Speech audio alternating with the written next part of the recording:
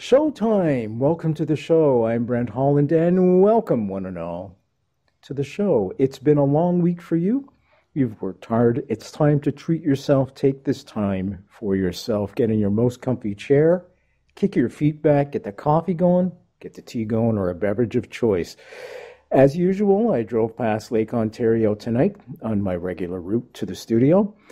I looked at the sun setting. I was ever cognizant of the wonderful, peaceful country I live in, Canada. Now, this isn't luck, however. This peace has been bought and paid for by all those who honor us by donning a uniform. I am ever grateful for their sacrifice and want to dedicate this show to Private Andrew Miller, a medic in the Canadian Forces in Afghanistan who was rushing to the aid of children in duress and was murdered by an IED. Andrew was 21 years old. Andrew, you will never be forgot. Now, the Nazis. Tonight's subject matter. To quote Indiana Jones, I hate these guys, folks. I'll be honest. I hate these guys. And to quote Sean Connery's character from the same movie, they are the slime of humanity. The biggest slime of them all, Adolf Hitler. Now, I've always been curious how such a mediocrity of a human being filled with hate, virtually a coward in the First World War, a talentless artist, could fool so many people and rise to such great heights where common people, now I'm presuming, with functioning brains and the ability to know right from wrong, could murder an estimated 11 million human beings. Now, I say estimated because the Nazi genocide factories were moving at such a pace, it's quite possible and probable that that number is actually higher. This is what is now known as the Holocaust or Shoah. So, just how did Hitler come to mesmerize all those who followed in blind obedience? Our guest tonight, David King, in his new book, The Trial of Adolf Hitler, The Beer Hall Putsch, and the Rise of Nazi Germany, just may have some answers. David King is the New York Times best-selling author of Death in the City of Light. If you haven't read this book, folks, get it. Trust me on that one. He is a Fulbright scholar with a master's degree from Cambridge University. David taught European history at the University of Kentucky. Now, film rights to the book I just mentioned, Death in the City of Light, have been sold to a major Hollywood studio, and his Vienna 1814 book was previously optioned for a television miniseries. His books have been translated into more than a dozen languages. Putsch, by the way, folks, P U T S C H, means a violent attempt to overthrow the government. Kind of a coup. I'd like to welcome David King to the show, all the way from Kentucky. David, thanks for joining us, and thank you for this book. Thank you. Thank you for having me. It is my pleasure. Thank you so much, my friend. I'm going to begin with a quote from the book because this stuck out to me, and um, it, it's pretty mesmerizing, the whole book, folks. And you're going to love this book when you get it because it's meticulous, but it's also written in such a way, David's unique flair, if you will, his ability to put it all together as a story. This is a story in itself, and it's going to answer a lot of questions for you. Okay, the quote goes The trial of Adolf Hitler is not the story of his rise to power, but rather an episode that helped make that rise possible. Hitler was not persecuted as the law demanded. We're going to get into that. The court slapped him with the absolute minimum penalty and then, instead of deporting him, ruled in favor of parole. He returned to where he had left off, though by that time he was much more dangerous to the Republic. Now, David, is there an analogy for the young folks that are listening? My demographic is primarily students. Is there a, an analogy we could use from what's happening today or in recent past that we could look at the Nazi movement, how it began, and say it's kind of like that? Ooh, that is a good question. Um, you know, I, I the, the, there are probably a lot of ways you could take that um, question, and I guess when I was writing it, I was just so focused on the story of you know of Hitler and and this tr- this incredible trial where the authorities had him. They had him, and he admits he's guilty, and yet, as you said, you know, it's this is this is the, this is the moment they had him. He admits he's guilty, and yet he is not locked up, nor even deported, and he should have been because the law said if you commit high treason, and you are a foreigner, Hitler being Austrian, not German, he's a foreigner, he should have been deported. So, but yeah, I, I think you could take it a lot of ways. I mean, you see a lot, you see so much hatred today, so much, you know, playing on emotions, so much playing to our fears, and I was able to, you know, if you say you have all these enemies, you have A, A, B, C, D, E, five different enemies. Instead of treating each one as five different enemies, so Hitler would say to them all one, make them all one enemy, and, and then and defeat it that way. And I think you do see a lot of this uh, in this horrific rise of anti-Semitism coming back yet again. Uh, yeah, I think there are probably a lot of ways you could we could take this. Uh, unfortunately, you know, I had Alan Dershowitz on the show, and we were talking about the rise of anti-Semitism, and I said, you know, Alan, I said everybody says prostitution is the oldest vocation in the world. I said I don't think so. I think there's something that predates that. And he said what? And I said anti-Semitism. It's been around forever and it goes in waves, and we are riding a crest right now, folks, that anti Semitism is the highest it has ever been in the world. Let's take a look at this thing and what caused the rise of Hitler. Uh, maybe a good place to start would be the Treaty of Versailles, October 21st, 1919. Could you talk a little bit about that? Yes, yes, that's, that's a great place to start. Because if you think of this, okay, the war's over, World War One is over, and uh, the Germans, you know, they, they thought they were winning, and the, and, and the news was so heavily censored that the defeat came as a surprise. I mean, they knew about the victories, but again, because of the censorship, the defeats not so much, and so the surrender became as a bit of a surprise. And then here comes the peace treaty of Versailles, which uh, was oh, what a, it, it was really taken as a humiliation for Germany because, uh, again, Germany had borrowed a lot of money because wars are expensive, and they had borrowed a lot of money to fight the war, hoping to pay this off later by territory that they could seize from other countries. And um, it didn't work out that way. Instead, Germany lost territory, they lost populations, and their military was limited to 100,000 soldiers. That's it, 100,000 soldiers. Um, other restrictions on what, what sort of material you could have. And to make it all worse, Germany had to admit that they were the single cause of the war. The only, you know, they were the cause. The war guilt clause, hated war guilt clause, and then they had to pay billions. I, I, a price to be determined later, which was eventually determined, and it was a lot.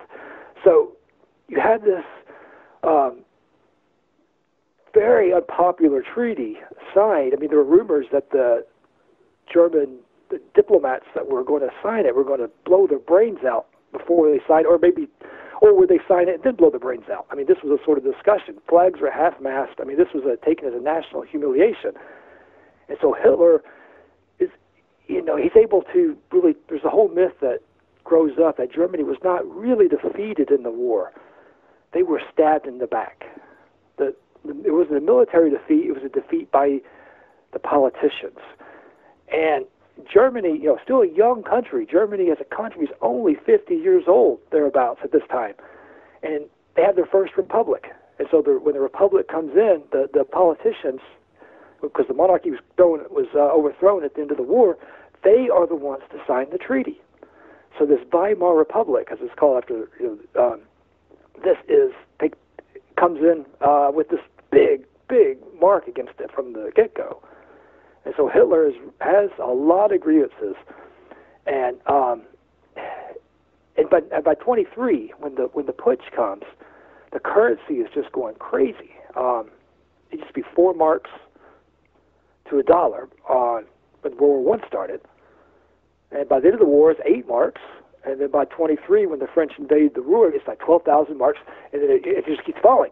Uh, 100,000 marks, 500,000 marks, a million marks, 500 million marks, a trillion marks. I mean, it, it bottoms out at 6.7 trillion marks to a dollar. So people are, you know, you, if you saved your whole life, a lot of people are wiped out. I mean, you what, what could have bought something incredible before the war, you know, you, you you won't buy coffee now. I mean, cabbage is 12 billion marks at the time of the putsch, or, or maybe 10 billion if you get a good deal. I mean, it's, it's, it's a catastrophe. People are thinking this is the end of capitalism. And so this is the, the climate where Hitler comes in and he, he, he, he could tell people, here's what's wrong, or rather, who is that wrong? And really just find a he needs an enemy and he will he will find you know unfortunately enemies. There was a socialist government that took over. There was hyperinflation as you just mentioned happening. Germany was just churning out money just printing it. So folks uh, maybe perhaps a good analogy is is think of confederate money during the civil war I mean, it's it's valueless. It's just paper. There's nothing behind it to actually give it any constitution. Um, You've got the middle class, it's pretty much decimated. There's no work left. Everybody's unemployed. My God, that sounds like today, doesn't it? it's kind of scary, actually. it's frighteningly close. So, this is why we study history, folks, by the way. We study to look for precedents so that we don't make the same mistakes over and over again. And it also allows us to look for solutions to current day problems because chances are somebody's been through it before. Good example, check out our archives, the show with Ted Sorensen. He's the fellow that wrote the letter to Khrushchev to get him to back down. So we have a precedent. If we run into another nuclear standoff, maybe there's a way out this time because somebody's gone through it before. Okay, back to Hitler and the Nazi Party. So you've got this young guy comes out of nowhere. How does he become part of this National Socialist German Workers' Party, i.e., the Nazi Party? How does he rise to become the leader of this party?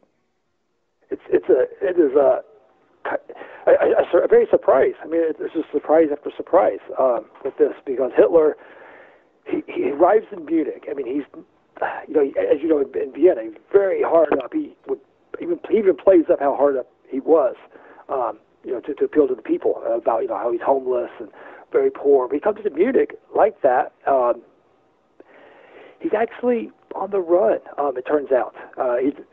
This was not mentioned at the trial, but he's, he was covering it up here. He's also covering it with Mein Kampf. But he, he was, you might say, dodged the draft to you know serve the Austrian army. He does not do that, and he comes to Munich to to avoid that. He ends up getting in trouble for that too. Um, the documents are there, and he also wants to be a painter because Munich at this time um, was a very sophisticated, cultured city. I mean, a city of painters and poets and dreamers, bohemians. And yet it's going to become this place, you know, instead of being a city of Kandinsky and Klee, it's going to be a city of Hitler and Himmler. So that's kind of a, I mean, incredible shock. So Hitler comes in there, and during all this chaos, he arrives in 1913, I should say. And, um, and after the war, you have and from the chaos of First World War, and then Munich has a revolution, uh, which eventually, for a brief period, the communists will take over. And so Hitler is still, you know, he's not anywhere near the Nazis. He's not with the Nazis yet. I mean, that, that's another surprise um, historians have discovered. I mean, since the 1990s, when they found out that Hitler's first moves in politics were actually with the socialist regime. You know, that was that was not known, but this German historian has, has I think, proved you know, shown that um, with some of the documents he's found. And um, so Hitler is, he ends up going, how he gets in with this small party, um, they'll eventually become the Nazis. Not, they're not called that yet, they're still National Socialists. And it's after the trial they really become known you know, as Nazis. They get shortened as Nazis.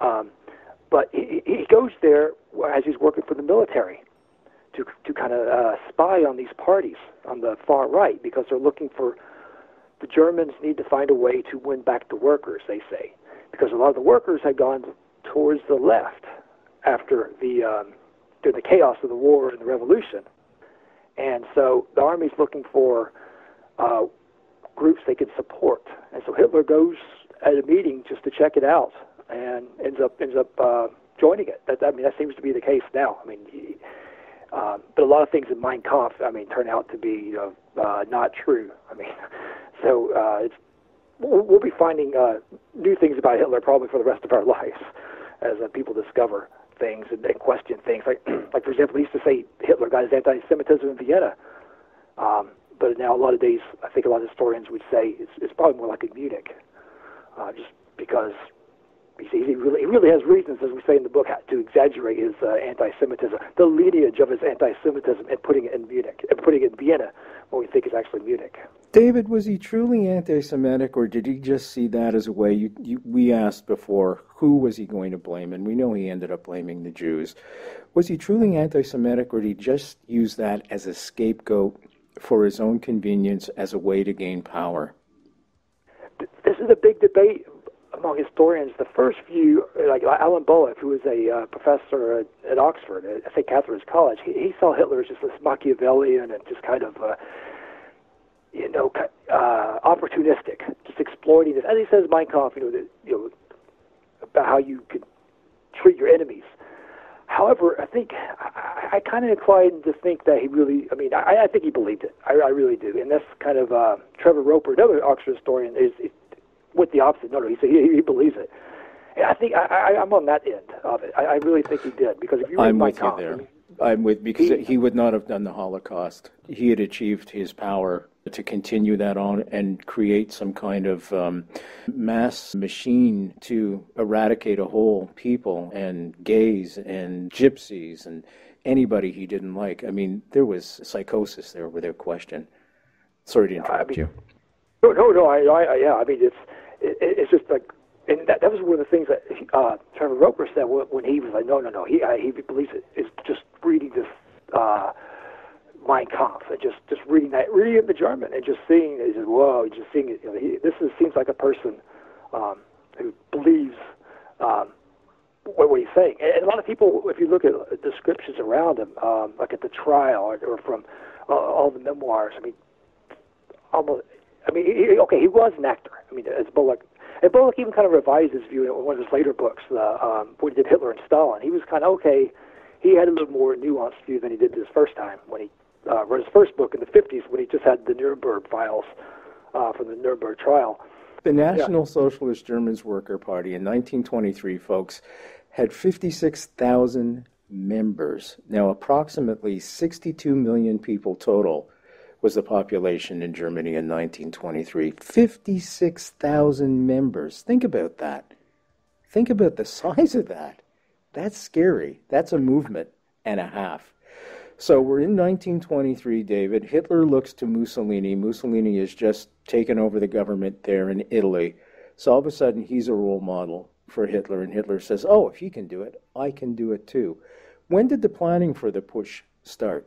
There were a couple times I, I wondered because there are a couple times earlier in 23 for sure when it looks like they're they're starting to set things in motion, but yet something doesn't work and they don't actually move. Um, but for the when they actually do move, like for that in November 1923, and they've been planning for.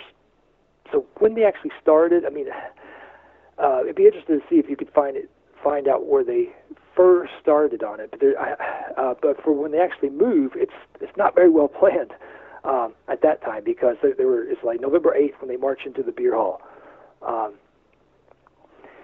and they originally were going to do it a few days later because um, you know November 11th is a nice day for the anniversary of the you know for the armistice in World War One. That would have been a good date, but uh, he found out that there was going to be an important meeting held at the uh, beer hall, and everybody was going to be there. All the leaders of Bavaria were going to be there. So he thought, now is a good time to act. We can march in and force these leaders to march on Berlin. So he he really speeds things up, and he forces everybody to go ahead when they had not really planned it out. So it's you could say a couple days before they they do it um, is when the it's just not it's this Hitler is kind of like this. He kind of forced, all right, we got to go. Let's go now, now. And um, you know, but well, we're not quite ready. And um, but uh, you know, there, there was a time in May, like a big um, time where it looked like they were trying to do things, and there were a few instances like that earlier in 23 too, um, where they may or may not have been trying to do something. I mean, I don't think it's really clear. Um, but they, they, they were there were certainly a lot of grumblings, and they were a lot of talk. Let's let's act. Let's act. And then all of a sudden they, they do act. And we actually found this. Um, I found an invitation to that beer hall on the on the night, which I was was wild to come across on for the actual beer hall. Um, putsch, uh, November 8, 1923, when uh, Gustav von Kahr, who was the leader of Bavaria, was going to give the talk, inviting everybody to come out, and that's that's where Hitler marches in. And by the way, folks, that pic, there's a picture of that in the book. So it's full of pictures. It's full of historical content as well. So sorry to interrupt you once again. Oh no no no yeah yeah so yeah yeah because Gustav von Kahr who was kind of uh he was the leader of Bavaria given uh, a lot of executive powers because because of the chaos and um, I mean it turns out I mean another irony is when Hitler marches in to the beer hall and fires his pistol in the air declares the national revolution has broken out it really seems that what he has uh, messed up their plans because they are uh, they, they seem to be uh, working to try to do something. Because um, again, Bavaria and Berlin had a lot of issues at this time. Um, you know, big insult in Bavaria was to call somebody like you know Prussian or Prussian pig or you know so they I mean, they were there were a lot of people wanting to uh, uh go after the Republican regime in, in Berlin, and Hitler really seemed to kind of uh, mess up their plans by his action and um, forcing them to act. So they were they were kind of upset. David, how many people were involved? I'm thinking you're going to need quite a few people. You just can't walk in with a handful, a dozen people or something, and take over. You know, a beer hall full of people, and then declare a revolution. Was there a quasi army behind him at all at this point? Yes, yes, yes, there was. He had um, uh, earlier. Uh, okay, this is November. It's a couple months before in September Hitler had he had, he had the stormtroopers, of course. Uh, um, already, you know, Goering was, was leading them at this time, and they were, uh, but they had joined an alliance with these other fighting societies. There were two other fighting um, societies that had come together in the Kampfbund, like this combat league, and they were going to um, work together. Um, and and because again, it's and this was after the when the when the putsch failed. I mean, when when Hitler becomes a joke. I mean, they're laughing at him. Um, because you know if you're going to take over a government, shouldn't you be in uh, military barracks or maybe a government office, perhaps somewhere besides the beer hall? And if you're going to take over Berlin, maybe you should do it. You know, what, what in Munich? That's, that's that's a long way away. Um, so I mean, and um, so after the the putsch fails, I mean, people were even saying that it's this seems to be the end of Hitler. The New York Times said this is the end of the Nazi Party when it fails, um, and the Frankfurter Zeitung, another another um, well-informed observer, said this is wrote, wrote the obituary of the party. I mean, it looked like this was the end of Hitler. Hitler thought it was the end of him. He was really depressed after the, the putsch failed and 20 people had died. He's like, who's going to listen to me now? And you can see this in the prison when people uh, go and talk to him, and he's just depressed and on a hunger strike, and he thinks it's over, and it probably you know, could probably should have been had not been for the trial. It's too bad the hunger strike wasn't successful for him. Just saying. yeah, I mean, I don't like this guy, folks. You know, and if somebody's offended because I'm being disrespectful to the Nazis and Hitler, tough luck. Tough luck. it's not going to happen from this host, anyways. The book is called The Trial of Adolf Hitler, the Beer Hall Putsch, and the Rise of Nazi Germany. Our guest tonight, David King. Okay, so you've got Jewish hostages he's taken. He's got General Erich Ludendorff, and he's behind Hitler. He's kind of an iconic leader. People look up to him, and he kind of gave, unfortunately, credibility to Hitler and his movement. Can we talk a little bit about the hostages that were taken and General Eric Ludendorff? Yeah, this was this was something else because had Hitler was you know get figured down and out, you know, aspiring painter, uh, painting like like kitsch, really. I mean, um, and it's like he all of a sudden he's with this major general in the First World War. I mean, you got Ludendorff, Hindenburg. Those are two big names, almost like dictatorial powers over Germany at the end of the war and Ludendorff is even with Hitler. So this was a, this was a, something because and Ludendorff at this point becoming this uh, idol for the far right uh, because he uh, almost seen as a military genius. Uh, the left and the center like well Ludendorff with his very ambitious campaigns may have cost Germany to lose the war. Um, so he's a divisive figure already, but but on the far right he's idolized. And um, so he, yeah, he's a big help for for Hitler. And an irony at the trial, everybody's talking about Ludendorff at first because wow, how could Germany's this this general, he's on trial now for high treason. But Ludendorff takes a stand. It just does not come out well at all. He's blaming everybody except himself, whereas Hitler, on, their, on the other hand, is taking all responsibility. Says, "Yeah, I did this. I did it." Um, you know, um, but the real traitors, I'm not a traitor. The traitors, that's the government in Berlin. And, you know, people are eating this up. So, yeah, so Ludendorff is a big help for Hitler just because of his name, his contacts that he has. I mean, he seems to be turning his villa. Uh, his wife wrote a, uh, a fun memoir um, talking about how Ludendorff was turning their villa outside Munich into this, um, uh, like this you know, a center for Nazi intrigue, and Ludendorff would go out there and putter about in the garden with his roses and water his flowers and and pretend to be aloof from the conspiracy. But he was he, he often did that. I mean, he he, he had a nice cover it seemed for for his actions. But but but yeah, so the guy Ludendorff involved comes there to the beer hall when Hitler fetches him, and um, and, and among the other many crimes they do besides high treason is they uh, they, they you know they smash up uh, a socialist newspaper, they take Jewish hostages, and we don't even know how many they took. I mean, I've um, I, I tried to trace it down, and there's this uh, memoir, um, unpublished memoir from the when when Hitler marches through the streets. He has a guy in arm in arm with him um, Scheubner-Richter is his name. They're marching, and, and Scheubner-Richter gets shot. So the bullet misses Hitler by you know about a you know a little over a foot, uh, or a foot, um, and it kills the other guy. But but Scheubner-Richter's valet wrote an unpublished memoir who talks about um, some of the hostages. You know, not, not anything a lot of details, just just the number of people. They would go out and they would they would grab. Um, I mean, there, there, there were these um, people going out and looking for Jews to attack.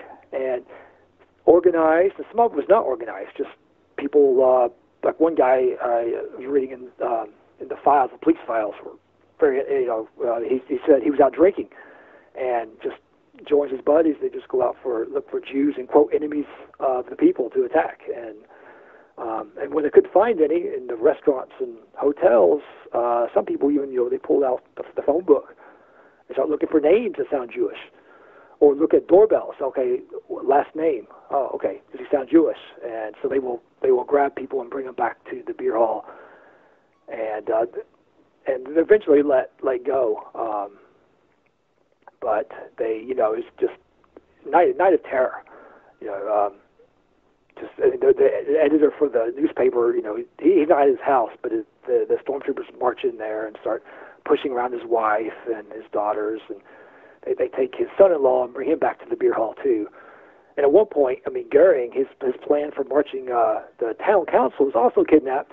Is they're going to march them in uh, in their march towards the city, and if authorities don't release the Nazis they've arrested, they were going to, they were, you know, they could always shoot these people or use them as leverage for whatever they want. But uh, it's, uh, and, and again, another scandal for the trials. A lot of those crimes aren't included in the trial. They just focus purely on the high treason, and they don't worry about the death of four policemen or the or these sorts of things. You know, the kidnapping of uh, Jewish citizens, or when they rob the printing press of trillions of marks. They, you know, none of that's. Uh, they just push that aside and focus just on the treason. The JFK Assassination, the definitive book by Brent Holland. From inside the Oval Office to Dealey Plaza, first person witness accounts. Order yours right now. www.nightfrightshow.com.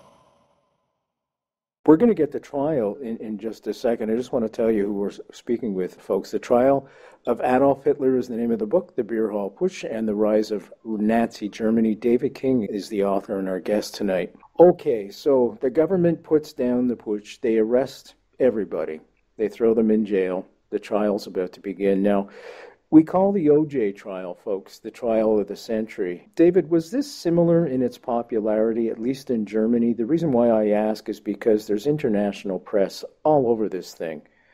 And I'm just wondering if that could be a similar type of an analogy we could use in terms OJ's not Hitler, folks.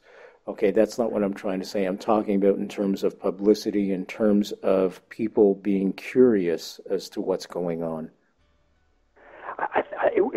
Certainly a sensation. I mean, uh, people at the time were saying, "Oh, this is the this is the biggest trial Munich's ever had, or the biggest trial in years," and uh, it's a sensation from the get-go. Um, a scandal once it gets started. And looking back, you know, we'd say it's a catastrophe, uh, but it was certainly a, a sensation. And reporters are coming, you know, all over Germany and France, Switzerland, Spain, uh, United States, and you know all over the world. Argentina, that's reporters from Argentina, and uh, it's I mean this is Hitler, and, and it's reported in great detail.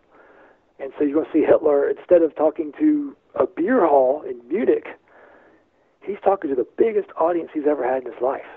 Um, this is and so at the beginning of the trial, you know, he's kind of the secondary player. It seems his name misspelled, Hitler with two T's, sometimes, um, or his background, you know, Doctor Hitler or von or von Hitler. Another person thinks he's very because of all the talk about his military courage. Uh, you know, they think he's like von Hitler. Um, that that'll be happen less and less. Those mistakes as the trial goes on. but yeah, it's a, it's a sensation. I mean, the people are are coming in. It, the tickets are highly prized to try to get a ticket to the trial, and I found these nice. Some of these tickets survive. I mean, like in Munich in the archives, it's nice to to see these. Uh, um, and uh, I tried to to get a copy to print in the book, but it, the copy didn't come out too well.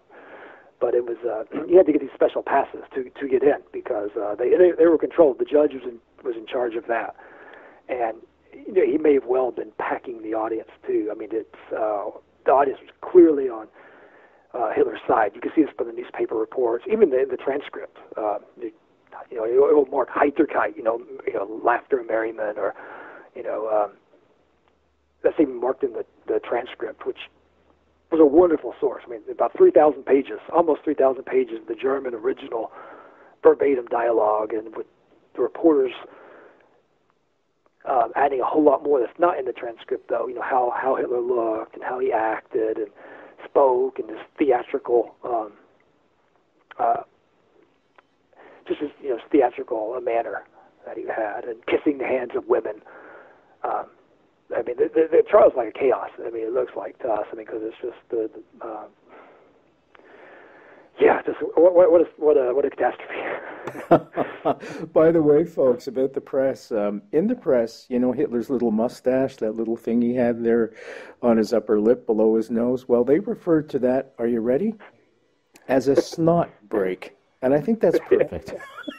yeah. I really do. You know, I really do.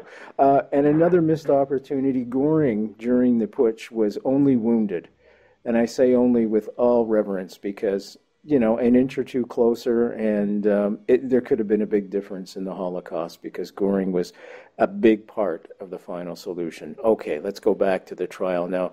We've got this big trial happening, and all of a sudden, how does Hitler rise from the secondary figure in all of this?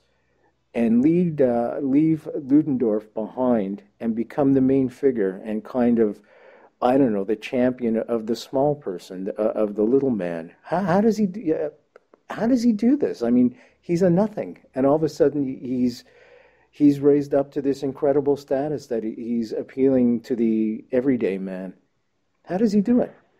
Yeah, it's like one thing he did he was he could speak. He could speak, and the judge, you know, had that. You know, there's there's an attempt to try to take this trial and put it behind closed doors had they done that, um, you know, this, that, that would have, that would have raised a lot of questions. That would have, you know, that would not be without problems. But Hitler would not have had this platform that he had, and, and they they know that. So immediately, when the when the prosecution like, let's move behind closed doors, you know, the Hitler and the defense, and oh no no no, the, the, German people need to hear this, and there's a big debate um, behind closed doors. You know, should we hold the whole trial there?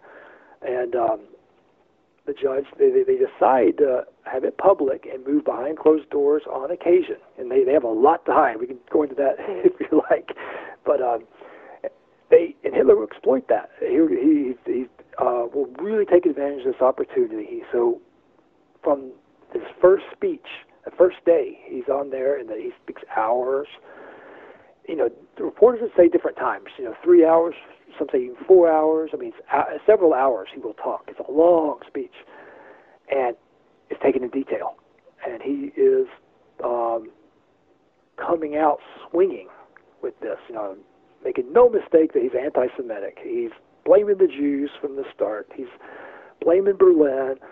He's really targeting his audience uh, and speaking to their emotions and their fears and uh, just just ruthlessly uh, doing that. And uh, the, he goes on and on and on, just talking and, uh, people are taking this in. It's uh, reported in great detail. Hitler, folks, just to let you know, during this trial, it was not trial by jury, it was trial by three judges. Were there any Jewish judges also present or anybody of Jewish heritage that was present? Not in the not on the not on the bench, and and not um, that I know of uh, among the lawyers. I I I uh, not thinking of I don't think there, there was any on on on here. There, there are some there, um, some there's a uh, wonderful uh, memoir of a contemporary uh, Jewish lawyer Hirschberg. Uh, fascinating, fascinating uh, memoir, which I ended up getting hold of. I mean, again, he's just uh, just very you know just going after this trial and for so many so many reasons why it's just a, such a perversion of justice. Um, and it's it's like never before has uh, justice shown itself to be the whore of fascism. He calls it, even in Bavaria, he says. So I mean, it's like uh, because it's so. But yeah, the uh, a lot of people that are critiquing at the time for just on so many levels on, on where it's not really uh, upholding the law as it should. What was the reaction of the local press? Not so much the international press, but the local press. I mean, here you've got a guy that just tried to overthrow the government. How did they react to that? And was there a change during the trial? Did they become more pro Hitler as it went on? There, there, um, there's a lot of a lot of pro Hitler. Um, there were the like Berlin socialist papers. There were a couple of those um, that were very critical from the get-go. The communists were very critical from the get-go. Um, Munich, uh, you, had, you had a lot of, I mean, the right wing was a lot of right wing papers that were supporting Hitler, and how it's a shame how these um, such national heroes like Ludendorff and then Hitler started to be included in this uh, as it goes on, or even on trial. The whole trial is a disgrace. They were saying so. You would see a, a very a very polarized view within within Germany. Uh, and I mean, you'll see one one of the big Munich papers. I mean, was a was in favor of uh, uh, the, the putsch from the get go, but then they actually are are, are less so as, as it goes on. Uh, but, but even then, at the end, though, I mean, they're like, well. Um, uh, I think there's a, there's a, there's a whole lot of uh, sympathy on the, on the right wing, you could say for sure. Was he being painted as some kind of patriotic underdog? You know, for me, the whole thing just reminds me uh, when the godfather of terrorism, Yasser Arafat, gave a speech in the United Nations. I think it was 1974. Folks, he walks into the United Nations, Yasser Arafat, with all this blood on his hands, with a gun belt on, at the United Nations. Now, he was rewarded for his terrorist actions. Are you ready for this? With a standing ovation. This guy reminds me that he may have taken a lesson or two from Hitler. Was it much the same with Hitler? Was he praised and, you know, here comes royalty, let's throw out the red carpet for this guy?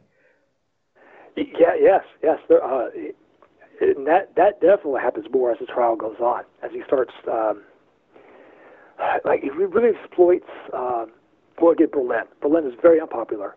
Uh, in Berlin, you know, like the like a republic as well, or German Republic, being very unpopular in, in Bavaria.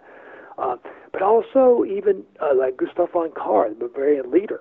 Uh, a lot of people on the far right were, and, and Kahr was on the right, but they were uh, getting upset with him because he was not acting. You know, he, he was being portrayed as someone who betrayed betrayed Hitler.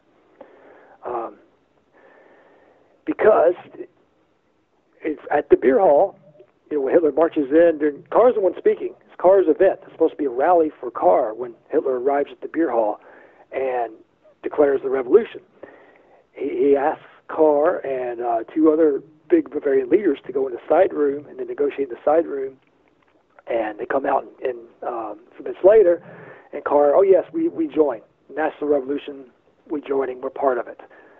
And so everybody cheers at the beer hall. I mean, Hitler kind of just turns it. The audience is heckling Hitler at the beginning of the beer hall. You know, what are you doing? You know, because he, he marches in on Kahr's talk, and he's full of Kahr's supporters. And Hitler just does a speech, and people are in the crowd. I mean, you have a uh, this wonderful archive on um, of, of, of eyewitnesses at the beer hall. This is the irony.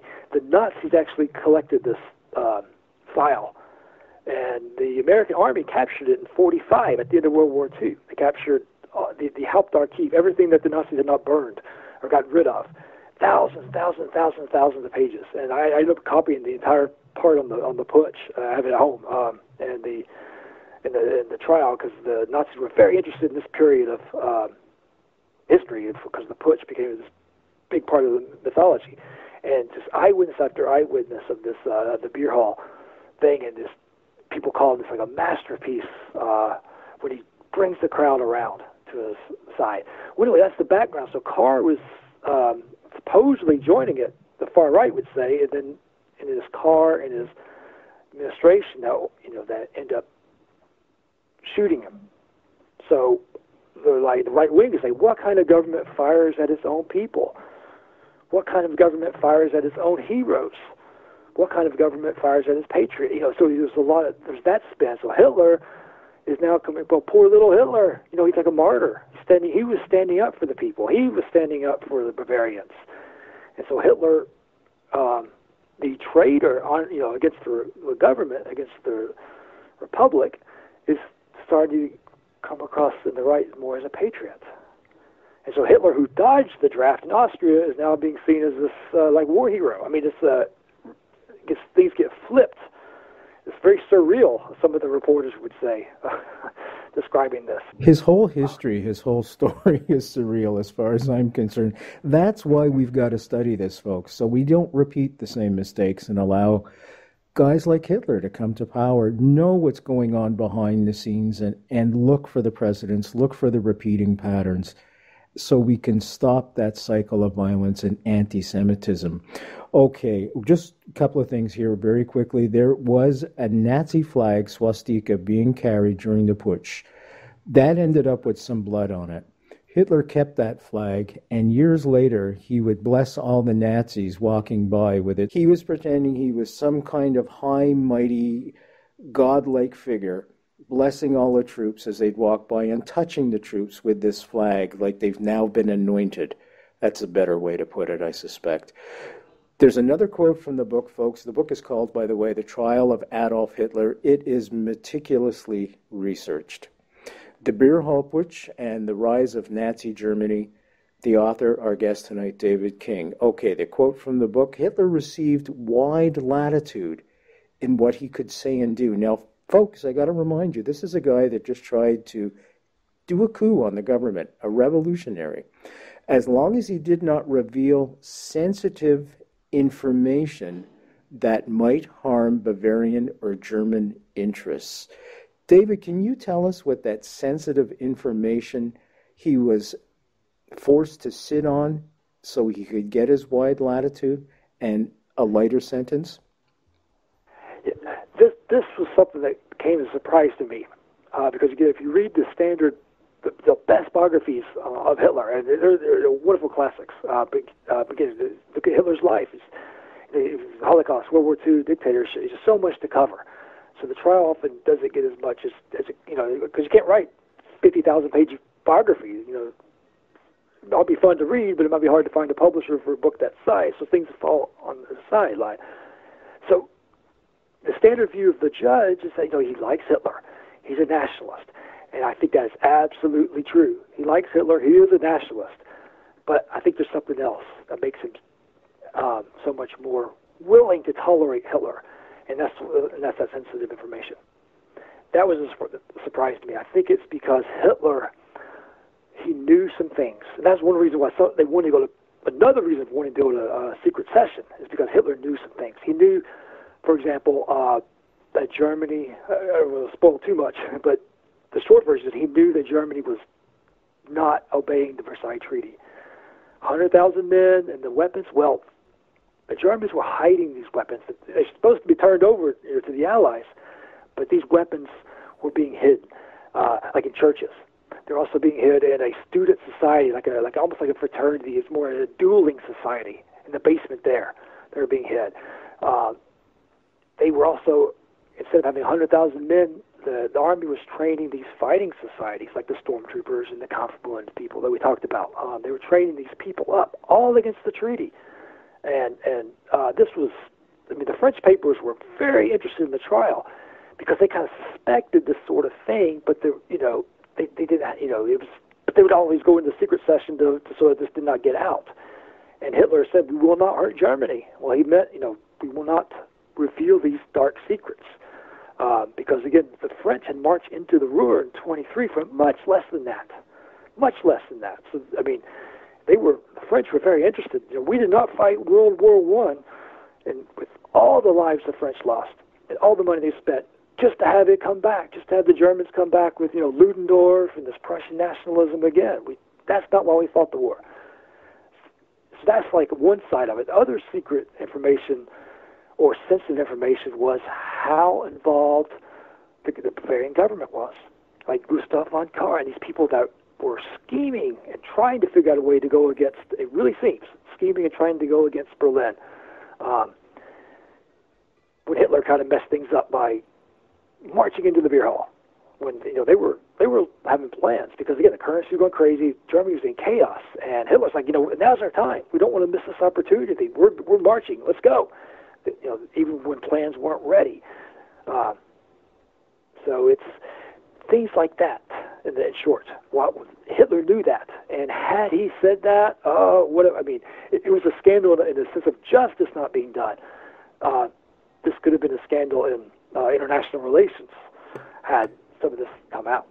And the old, like I have a, like I have the the, mm-hmm. the original, not the original, I have a copy of the original um, transcript, three thousand page We also have some uh, purchased some 1924 transcripts that were published, and they don't have any access to the secret uh, sessions, of course, because they, you know, they cleared the courtroom. No one was allowed in there except for, you know, a handful of people, and no reporters. Is this and, why there was such a light sentence? He only got five years. He ended up serving only eight and a half months. Months, folks, not years. Eight and a half months out of five years. And is this why there was no death penalty as well? Well, you know, there's that's another level of scandal to this trial. The trial should never have been in Munich. Should never, in the court that it was hit, it took place, the People's Court, was now illegal. It was unconstitutional um, because when the Weimar Republic Constitution was signed, these sorts of local uh, tribunals of justice, like the People's Court, were no longer legal. They should have been. They should not. Should go out of existence, and they will. They kind of strike a compromise in the Hitler trial, and it used to be called the last of it. It's not really the last. Rudolf Hess uh, is also tried in the People's Court. That really does seem to, to be the last one, and, they, and it goes out of existence here in 1924. Uh, so it shouldn't even been in Munich. It should have been in Leipzig. That's where the they they created a special court uh, to deal with these sorts of matters to protect you know matters of treason because there was a lot of cases of treason coming up. Uh, already by 1923 and 24. So the trial should have been, according to the law, should have been in Leipzig. And had it been there, I, things might have been very different. I mean, it would have just been high treason. I mean, you know, what would have been tried on the death of the policeman? I mean, he could have gotten. Uh, I've read some of these like German scholars, at German law, legal scholars from the, the 20s, you know, critiquing the trial at the time, saying, you know, yeah, that it, but he's not tried that way. He's not tried for that or the kidnapping. It's just the high treason, and it's in Munich, and it's with uh, this, you know, friendly, friendly tribunal, uh, the, the People's Court. Uh, so he, he slapped. I mean, the, the sentence comes out April 1st, kind of appropriate day, um, ironically, and then 1924, and by December 24, uh, December 20th, 1924, he's he's out. He's uh, out and he's back and he's bigger than ever. And that's the yes. frightening part. They had a chance to squash this little bug, and it didn't happen. And, you know, this is that, and we know the consequences of this. I mean, time and time again, we look at, at places where we could cut off uh, a guy like Hitler from doing the dastardly things he did. And time and time again, those opportunities are missed. And usually there's political forces behind them all. What led you, David, to investigate this? You've done your previous book, and it's fabulous absolutely fabulous as well, folks. What led you to do this book? Well, I started out. Um, this is a lecture. I always enjoy doing it when I taught at the University of Kentucky. I mean, I thought I thought I would do the beer hall uh, putsch because it, at that time it'd been 30 years since there'd been a book, and that, that's a long time. And I was like, and I, I, I, I had some ideas of some things that could be done differently. So I thought I would start with that. It's just this chaos, uh, this what looked like the apocalypse of you know capitalism. I thought I would do that, and as you know, use the putsch to understand early 20s Germany. And um, I was also interested in this like Munich. You know, how did Munich uh, change, uh, become such a, a center of you know from being a, such a sophisticated center into a place that's known for attracting Nazis. I mean, how if it, if it happened to Munich, it, who's safe?